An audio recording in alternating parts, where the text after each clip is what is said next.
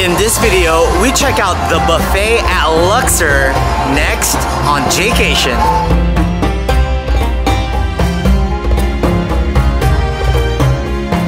Hey, what's up Jaycationers? Welcome back to another video here in the Las Vegas series.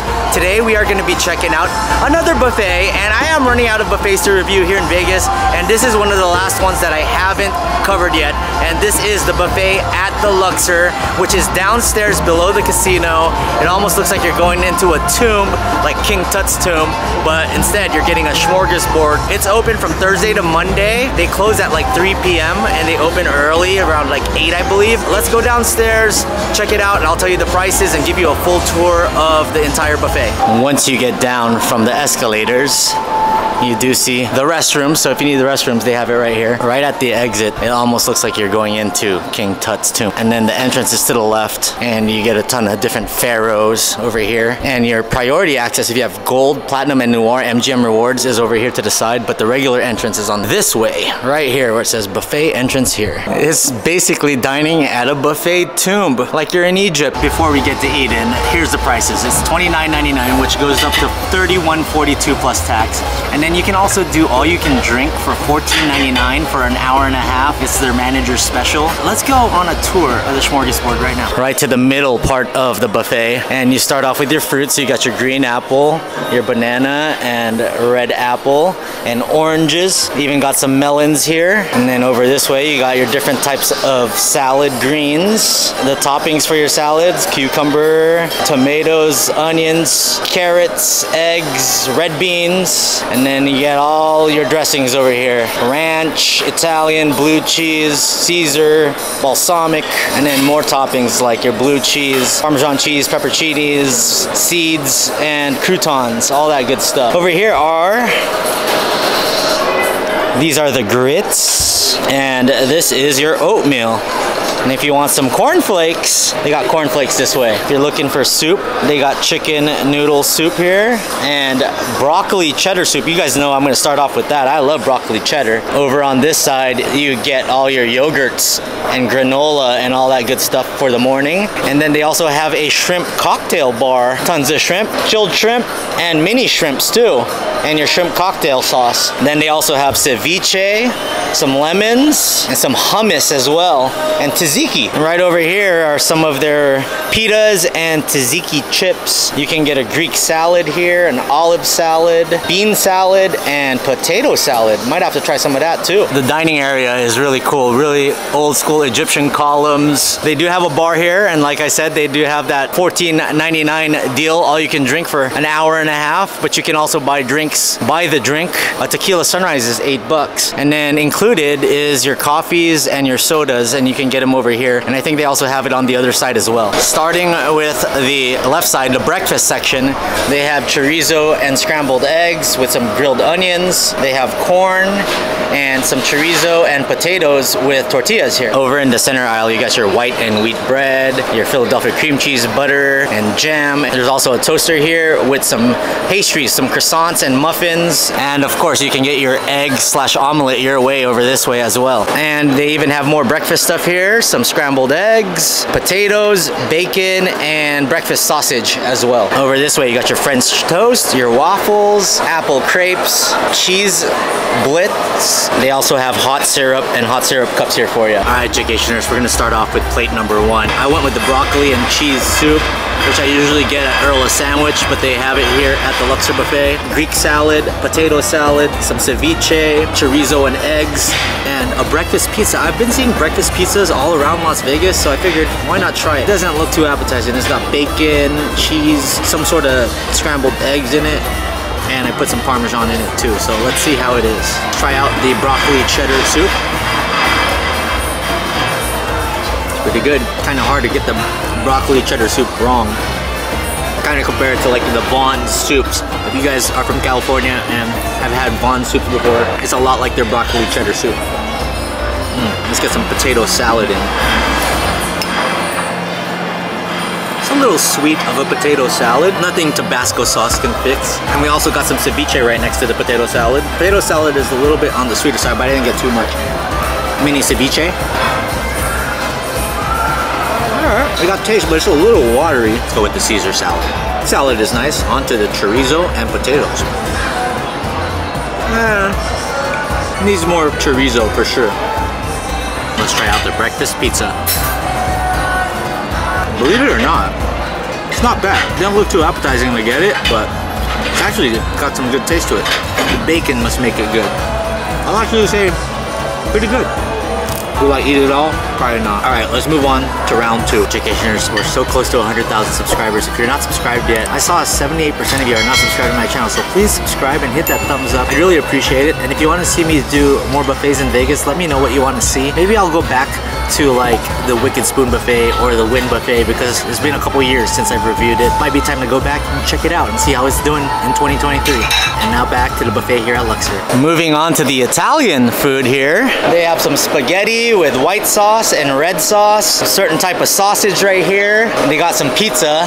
They got a breakfast pizza, barbecue chicken pizza, buffalo chicken pizza, vegan style pizza and a California pizza over here as well as a meat lovers and a cheese and pepperoni pizza here. This is their carving station right here. And they also have some roast beef, some prime rib, and some various sausage and chicken over here as well. This is the Asian area. They have white rice, they have chicken teriyaki, some vegetable spring rolls, mango habanero chicken legs that are really hot, some chicken pot stickers, some fried rice.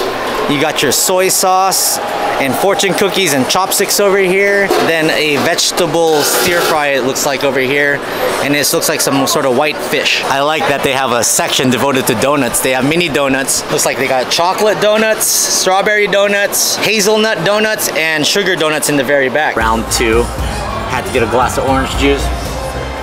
And if you guys have been following my buffets, you know I usually get an omelet. This time we're gonna skip the omelet. How about that? How about them apples? I ended up getting the mashed potatoes and I put the uh, southwestern gravy on here. We'll see how that is. I got some broccoli, some stir fry, uh, one pot sticker, a couple of sausages, and some of the beef. The beef looks a little dry. Just a random pink donut, strawberry donut to go with it. Unlike Mikey Chen, strictly dumpling, I love broccoli, so. Mmm, okay. Let's try out the hot link here, see how the sausage is, see if it's hot. All right, pretty good sausage, can't really get that wrong. This one looks a little more dry. Let's see it. Not that one. The hot link, for sure. All right, let's try out the uh, prime rib. It's all right. Horseradish is not too not too much of a kick, a little dry. All right, more of the stir fry.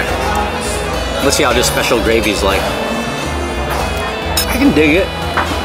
It's a little different. Has a little celery taste to it.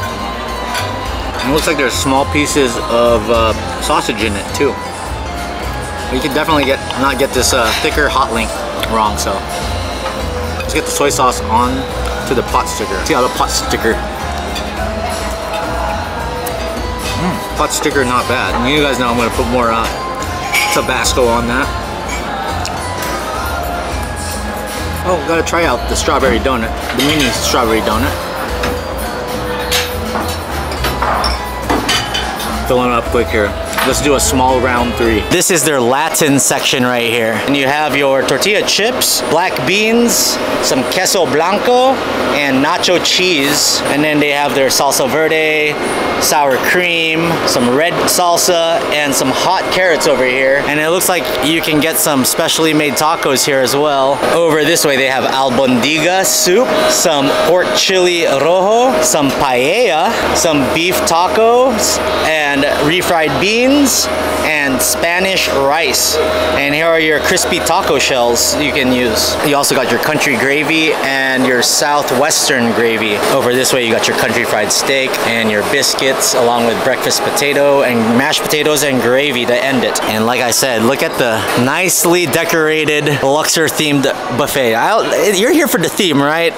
Not for the buffet per se. So I went light on round three. Just one crispy taco with the beef and beans.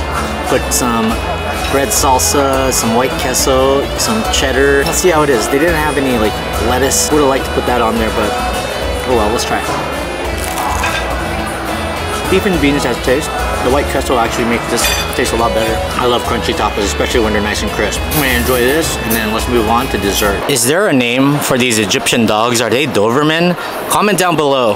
I've always wondered what the name of these things are. Even though we're in Egypt, they do have Hawaiian frost, banana and coconut at this machine. On the other side of this machine, they have blue vanilla and chocolate. I'm gonna have to try that. It looks like they have some sort of custard here with some tiramisu, red velvet cupcake, cream puffs, eclairs, and chocolate. Here are the toppings for your ice cream. Chocolate, strawberry sprinkles. We're gonna finish this off with the dessert. I ended up getting tiramisu.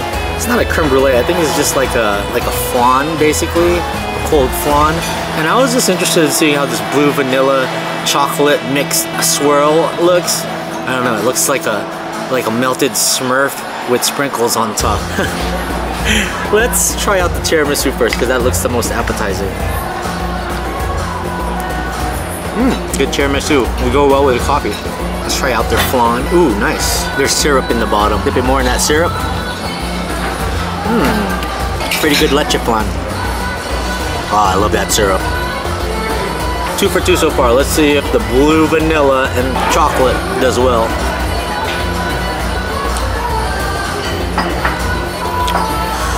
A little too icy. I mean, it's not bad. I guess the kids would have fun with it being blue. Finally, let's check out the fortune cookie here. See what it says. It says, a truly great person never puts away the simplicity of a child. What does that mean? Stay a kid forever? Is that what that means? And you got your lotto numbers too in the back. And it also has like a Chinese, uh, learn Chinese word here. It means juice. Go Z stuffed.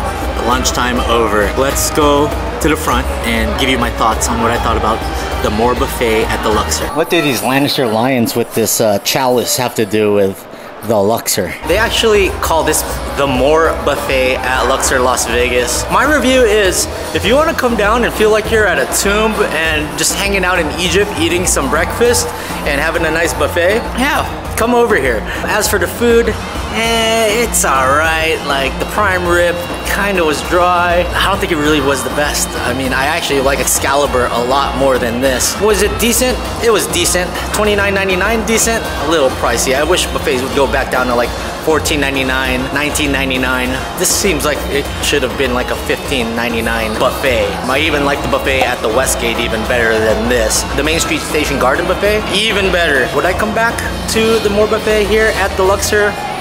Probably not.